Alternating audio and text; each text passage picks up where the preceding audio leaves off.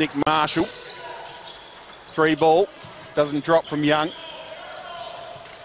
Still working hard. The bullet's Oh. up and stuffs it.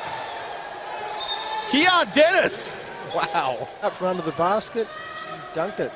Someone turned off gravity for a second and he just flew up there.